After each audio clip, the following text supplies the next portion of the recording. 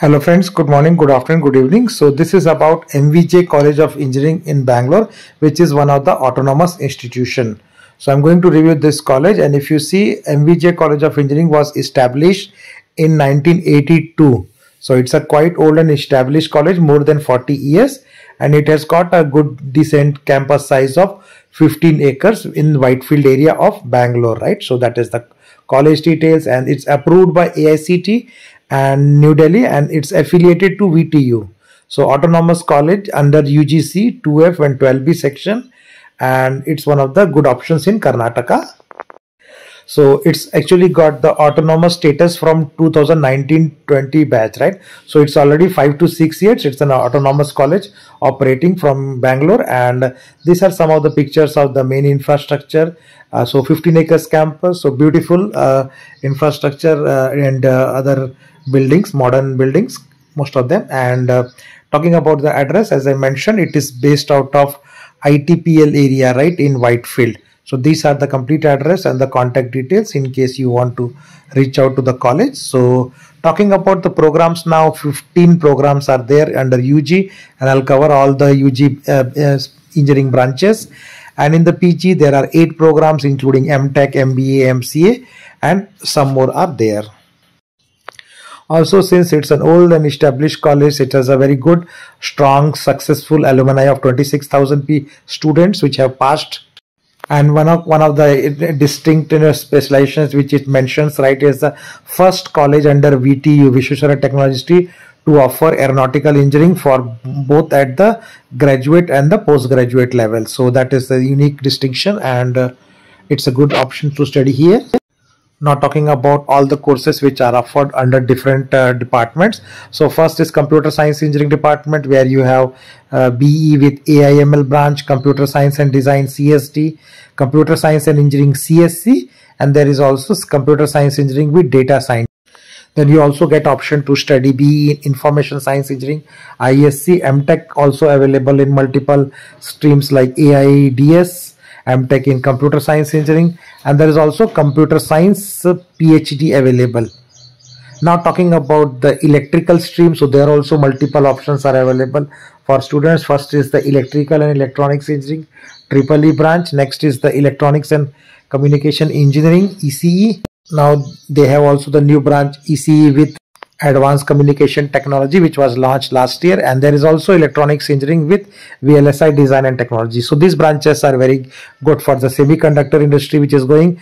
And there is another branch called BE in industrial IoT which is also there. And also MTech also you can do in electronics and uh, electrical related subjects as you can see here now moving further there is a mechanical science department also where again existing courses like aerospace engineering aeronautics eh, engineering which i talked about is a unique course first started here and then chemical engineering branch is there regular core branch mechanical engineering is also there. And now moving to the last department which is basically civil engineering department. You have only one department be civil engineering branch in bachelor's and masters you have structural engineering and transport engineering from mtech perspective so before going for placements, you know, these are some of the infrastructure from the internals in terms of the, this is the library infrastructure, reading rooms, which are provided for the students.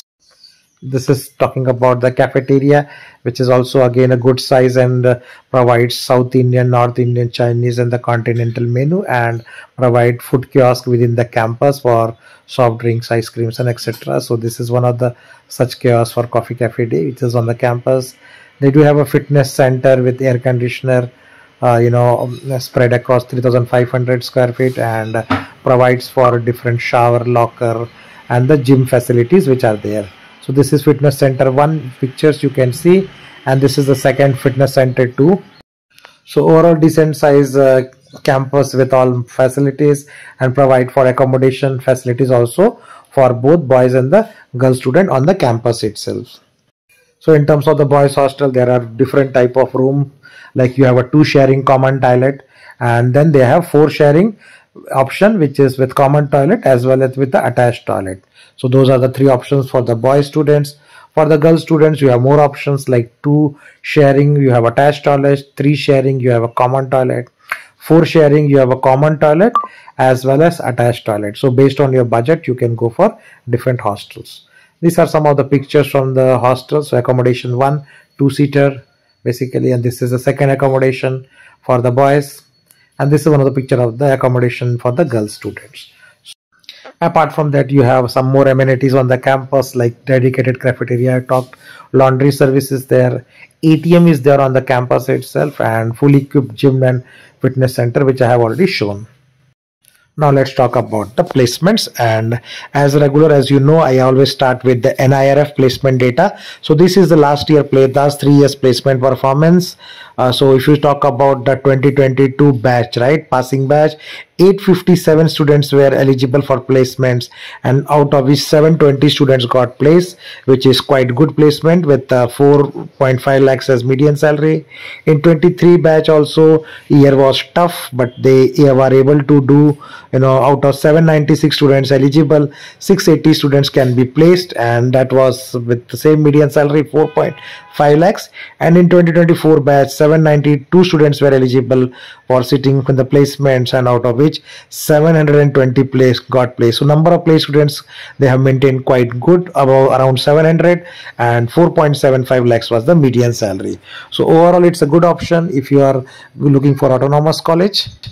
And now also I can give you the branch wise placements of 24 batch so that you understand which branches are the good option. So you can see CSE has the, highest number of students placed. So placed uh, students are basically yellow ones. So in the CSE department 198 students got placed. Ye uh, uh, yellow one or the orange one you have to see. ECE department 74 students got placed. You can take that also. Information science around 66 students got placed. Then the number of students placed in the other departments also you can check here now talking about the 25 placement which is the latest data available. I'm showing like the type of companies. It's coming accenture which come came and take took around 11 students. So these are the 11 students who got placed in accenture with the graduate engineer training. So these are first five students and this are i'm showing is the next six students. So total 11 students in accenture in the current batch which I'm showing this is the second company in 24-25 you can see microland and there also good number of students were selected. So these are the first six students mostly from computer science information science CSE data science background. Six students are there and almost all are girls. And here you also see some more six students are there all background with AIML mic in you know and CSE design and all the CSE specialization branches. So 12 students total now some other branch placements also to understand. So chemical engineering department is there. For example you see six students based placed in the company called mini mines and you can see these are all chemical engineers. So six chemical engineers placed here. Moving further another good company which is called mu sigma and which is good paymaster and they have taken students from mvj college of engineering in 24 25 batch.